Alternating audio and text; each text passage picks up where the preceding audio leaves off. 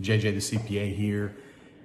Gonna take a crack at the self-employed, sole proprietorship, independent contractor benefits out of these acts that we've been handed. And it just seems like really with the self-employed and independent contractors, sole proprietor out of the CARES Act, not intentionally or anything, but there's it's just so vague how to determine what it is that you get um, on these three benefits.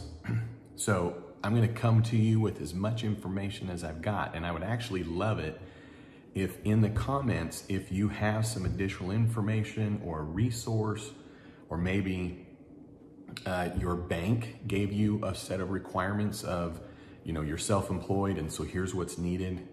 Because um, I think that's how we're going to have to solve this. So I've got a client tomorrow that I'm having him go to one of my three banks to get the PPP and we're gonna go with what we think we need and then we'll see what happens. It'll be a good experience. So um, here's where we're at on the self-employed, the sole proprietor, the independent contractor.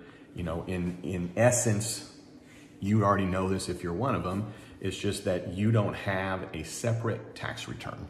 That's really what this comes down to. It doesn't mean you don't have a real business. It just means that you don't have a separate tax return. Then when you are self-employed or sole proprietor, an independent contractor, you're now preparing this information for your taxes on your personal return. You probably know this, right? So when you go to file a Form 1040, that's where you're reflecting your information as a self-employed, sole proprietor, or independent contractor. So we're talking about where, but there's, there's out of the CARES Act, okay, uh, out of the CARES Act, there's two things that came into play, and it's this PPP, okay?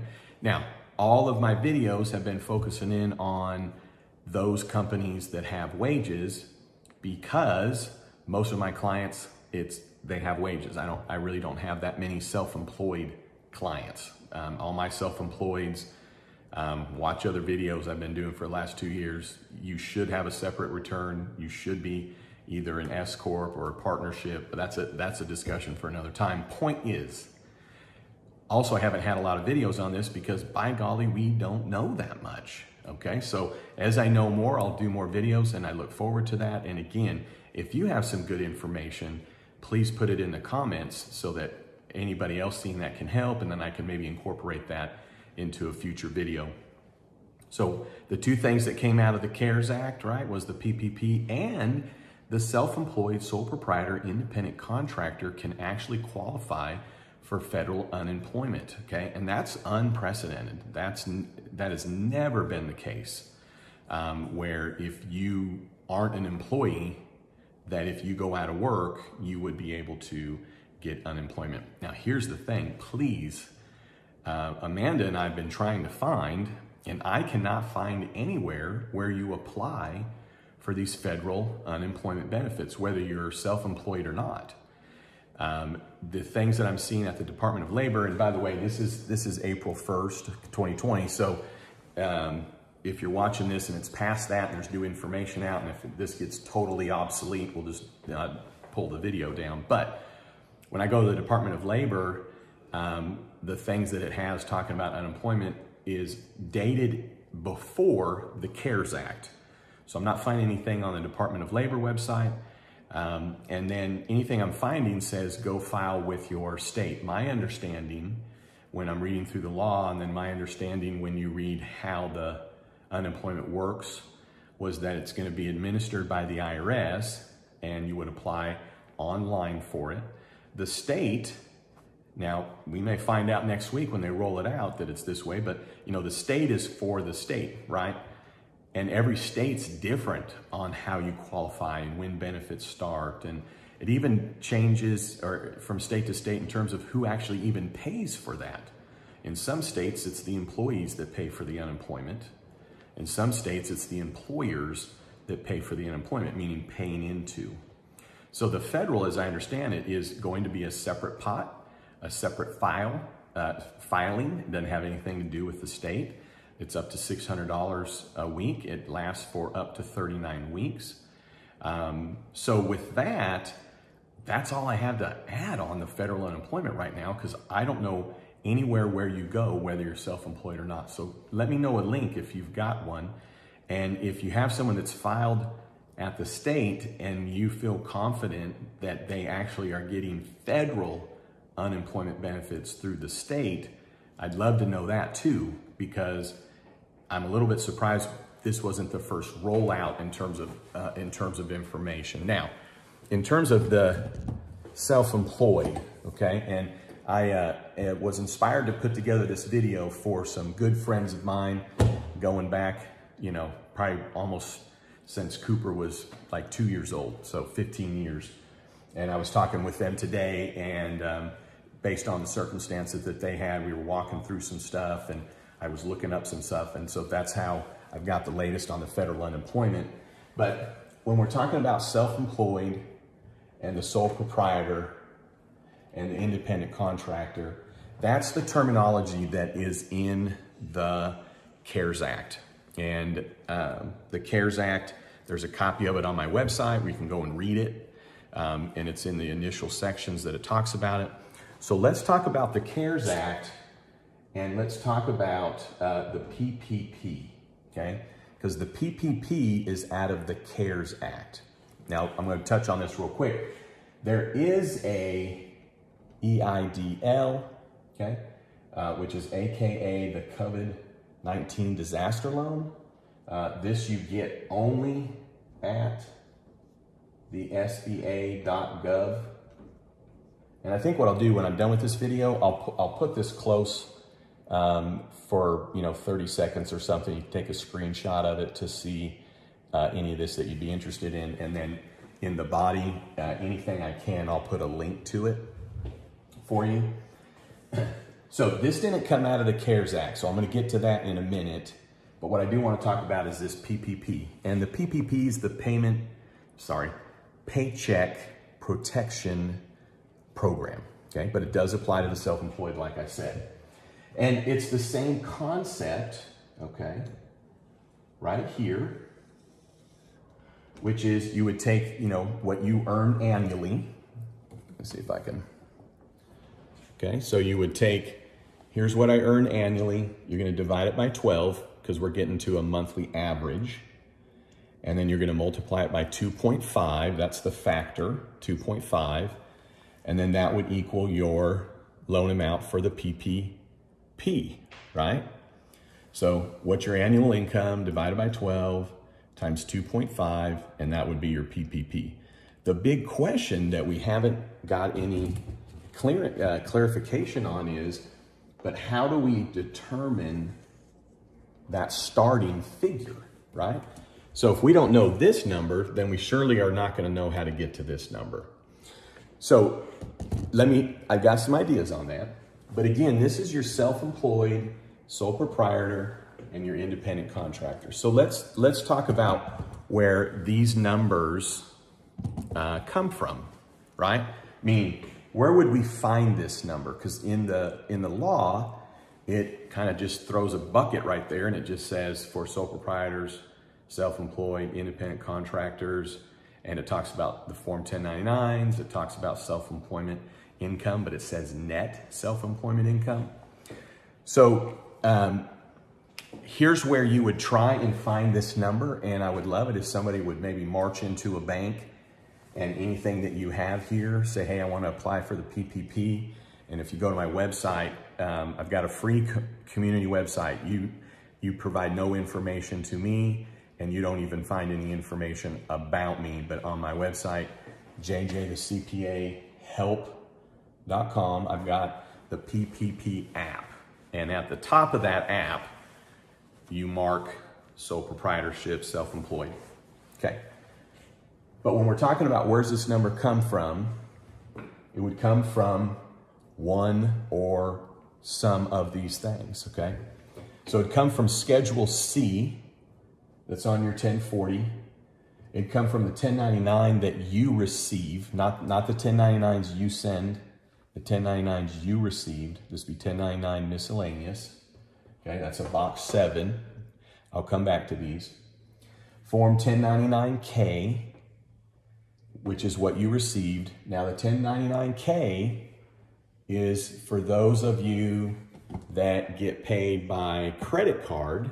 You're probably familiar with this, but the company that runs your credit cards, they send you a 1099K, which is all the monies that you've collected. So if you don't collect payments from your customers, your clients, by credit card, you will not have a 1099K.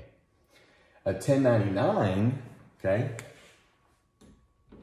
miscellaneous, okay, box seven is that non-employee compensation. So typically those that are getting a 1099 have basically provided a service through their business. It's just not a separate tax return. And who paid them is going to send them, you, this Form 1099. You can also look to Schedule F, believe it or not. I mean, that's a, that's a farming business, right? Farming and ranching. That can also be self-employed income.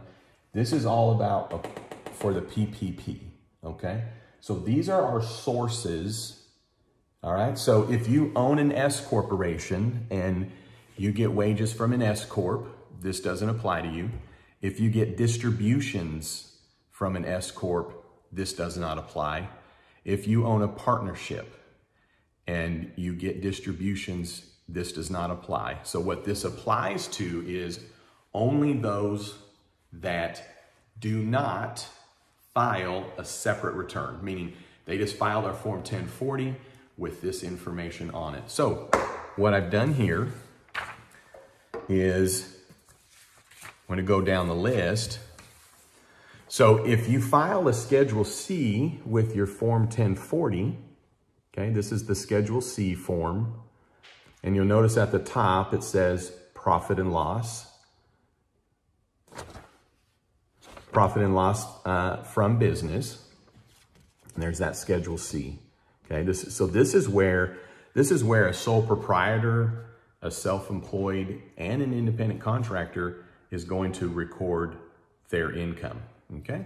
And if you're a statutory employee, uh, this is where you would record your income as well. So you get a W-2, but if you're a statutory employee, your income comes here.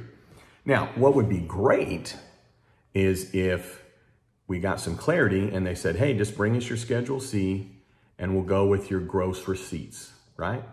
Like right here, boom, we'll just give you what you what your gross was, okay? And when you read the law, it's like, well, maybe that's that, okay? What's logical though, okay, is line, this is the Schedule C. What's logical though is line 31, okay, which is the net profit or loss. So the difference would be, obviously, right? You brought in all your money, but then you have all these expenses and then what's your net. So why am I, why am I talking about Schedule C? What we don't know is when we're trying to figure out this starting number, okay? How do I know how much I can get in a PPP? Well, I gotta know, I gotta know the first number here, like what's the income? Because for businesses that have payroll, that's their starting number.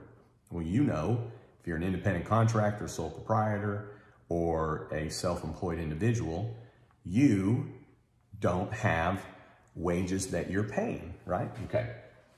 So is it on a Schedule C, this one? That'd be great, okay? Or is the starting number the net? So that's what that's what we just we just don't know on Schedule C. Is it based on this or is it based on this? So what I told my client is, you know what, let's not wait around anymore. Let's just take in, let's take in what you got. This banker that I'm working with, He's going to interpret it to your best interest.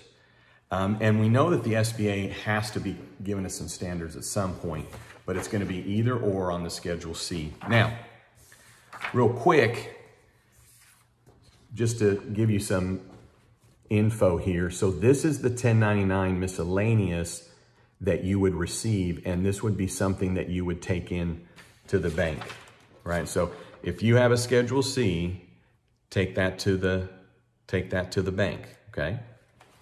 And then if you get 1099s, you'll take this as well, okay? So this is a 1099 miscellaneous, okay? And then it's box seven here. Okay, box seven. I'm just doing this all for free, so I'm sorry that it may seem unprofessional, unprofessional. But anyway, so we have box seven, uh, non-employee compensation. So if you received this, that's a golden ticket to get a PPP, okay? But is it just, is it based on this? Like, hey, I got this for 31 grand and that's your starting number? Because you probably know where I'm going with this, but when you get a 1099, where it actually typically and uh, most of the time gets reported is on this Schedule C. So this 1099, in essence, would be your starting number. So if you take your Schedule C in and you take in your 1099, hopefully you've got a bank, and I'm sure they're going to try to give you the most that you can, but you have now two documents to take to them if you have these right here. Now, I also printed out, uh, it's dark, as you can tell, and I've got these bright lights, and, and they're, they're making me warm. Got like a homemade studio. Okay. So this right here is the form 1099K.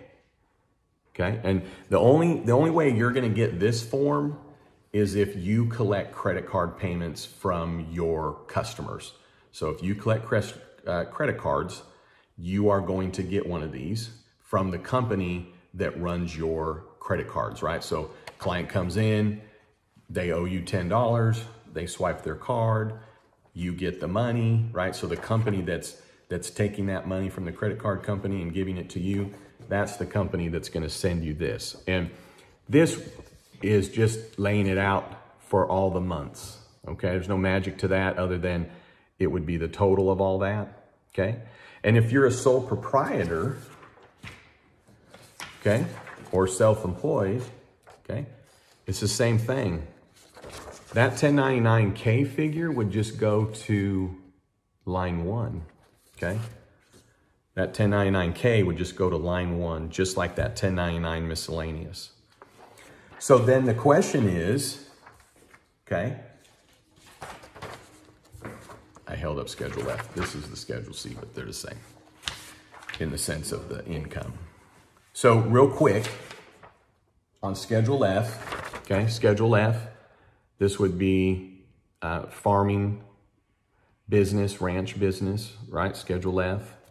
And then it's, it's, it's really the same as the Schedule C. So here's the gross income, and then here's the net profit. So the question for a PPP is, well, do I use this number as my starting number or the net number as my starting number? Okay. And the 1099s would get reported in here if you have a farming business. So if don't wait around. I mean, let's not wait around for the for someone to finally interpret. Just get into the bank. You can go to that. Uh, you don't have to even go to my website. You can find the PPP form. Um, you know, a fill in. Just make sure at the top it says Paycheck Protection Program. But I, I mean, I'm just saying I have it on this website, jjthecpahelp.com. Take what you got, okay? And then if I'm you, you know, you're not, you're not doing anything wrong. But if, but if I'm you for starters, the number I would put and the, the number I'm going to have my client put is what's reported on the 1099, okay, which is also what's reported on line one. Okay, so we're going to go with that because when you read the law, it sounds like it can be that. Okay, now there's something in there that says the net, but we're going to start out the application with here's the 1099s that this client got, and here's the Schedule C that these 1099s would be reported in. Okay. And in fact, this client also has a 1099K that gets reported on here. So they get 1099s and they get 1099Ks. All of that goes into Schedule C. And that top line is the bigger line because that's before any expenses, right? Schedule F, same thing. If, if, if I had the client was a Schedule F, I just go and do the application based on the top line. And the reason I'm saying that is it's the better number. We have no other guidance. And here's the thing. I mean, the bank's going to know how you came up with your number. It's not like you're putting in, you know, you're not pulling the wool over their eyes, but you need to have the documentation. And on that PPP app, that would be your starting number when we're talking here on April 1st. Starting number being what's on what's your gross on Schedule C, what's your gross on Schedule F, okay? That'd be your starting number. You know, what's the what's the total of your 1099s, which should be the same as what's on your Schedule C. Now your Schedule C or F may have more income because you may have not gotten 1099s from everybody, right? But it's at least that on your Schedule C, Schedule F. So total 1099s, your gross figures, okay? Divided by 12 times 2.5, and you have a PPP loan. Now, here's the one zero guidance on is how do you get it for, how do you get it forgiven? Uh, I had somebody, and it was an, it was a good comment, but it's a little, it was funny. We both were laughing. It's like, well, how do you, how do you show that you used it? You know, do you just write a check to yourself? Because as a sole proprietor, you don't have a separate anything. So I don't know how the loan forgiveness part works. Right now, we're probably just like, well, let's just get the money. So if I'm you, get that PPP app, fill it out. It's super simple. Your name, your address, your contact info, and then it's going to say, hey, what's your payroll cost? And for you as a self-employed independent contractor or sole proprietor, your payroll cost would be, here's my annual amount divided by 12. Okay, because what it asks for is what's your average monthly payroll cost. And in the law, they define payroll costs for self-employed individuals as your income. They just didn't say if it's net or if it's gross. So on that PPP, the annual divided by 12 is that figure that I, you put in. And then you'll see on the application that you take that times 2.5, okay, to get to then the loan amount. And then the rest is just questions. I mean, it's, it's two dollar amount of figures, and then the rest is questions, you know. So answer all the questions, certify it on the back, bring in your Schedule C, bring in your 1099s if you have a Schedule F, you know, just bring it in. And if you're paying for your own health insurance, bring that in. If you're paying your own retirement, bring that in, you know, whatever documents you can get, right? Now, because we're at 23 minutes, um, I'm going to turn this into a part two. So we talked about self-employed, independent contractor, sole proprietor, and we talked in this one about unemployment benefits and the PPP.